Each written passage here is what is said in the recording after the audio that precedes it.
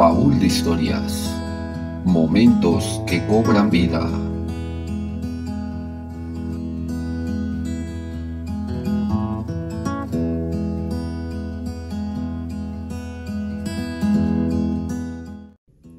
Hola, bienvenidos al taller Baúl de Historias. Soy Andrea Rodríguez, guía de servicios bibliotecarios.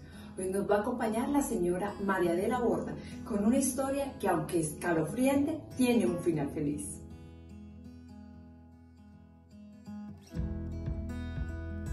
En el año de 1975 estaba yo embarazada y la doctora Aisa me decía que yo tenía gemelos. Pero pasó el tiempo y pasó el tiempo y luego ya fui a tener el niño o los niños y resulta que no tenía sino un niño y el niño pesaba 6.364 gramos. Y fue tanto, yo duré tres días en trabajo de parto. No podían sacarme en el niño porque el niño estaba pegado a la matriz, por lo, por lo grande. Y no habían hecho nada para, o sea, no habían hecho nada para hacerme cesárea, entonces total tocaba parto natural. Y cuando me sacaron el niño, yo, se supone, según los médicos, yo me morí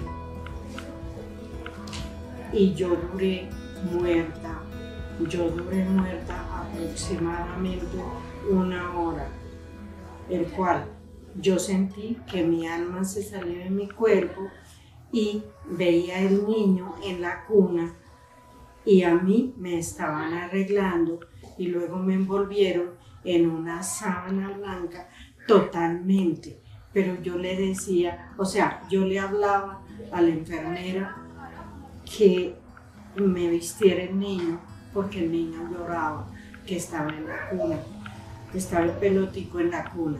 Ese, eh, cuando me fui retirando un poquito, que me retiré, que ya no me podía acercar ni, a ni al médico, ni a las enfermeras, ni a una monja.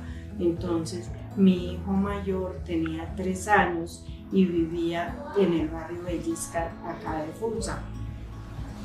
Eh, el niño llegó y me dijo, mamita, no te vayas. Yo sentí la voz del niño cuando me dijo eso, pero yo estaba en el hospital de Chile. Sin embargo, volví otra vez y me acerqué al niño, a la ropa, a ver si podía vestir el niño, pero no lo pude vestir.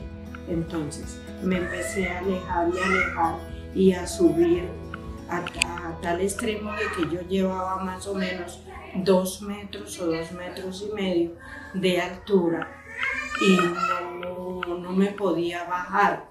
Yo lo único que veía era el firmamento azul totalmente y en redondo era flores rosadas y azules. Solamente es muy lindo, de verdad, el firmamento, todo era muy lindo.